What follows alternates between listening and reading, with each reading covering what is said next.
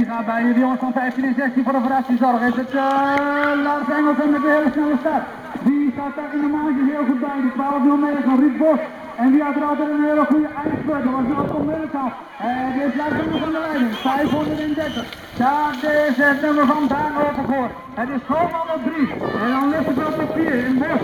Bos is in de kant hoor. Hij komt slecht naar voren. Komt slecht voren. Uit de startblokken moet ik zeggen. Het is uh, Lars Engels aan de leiding. Gaat hij Bull compleet maken. Nog van Engeland gescoord. De 530. Ja, van de 530 en nummer van Daan Overgoor.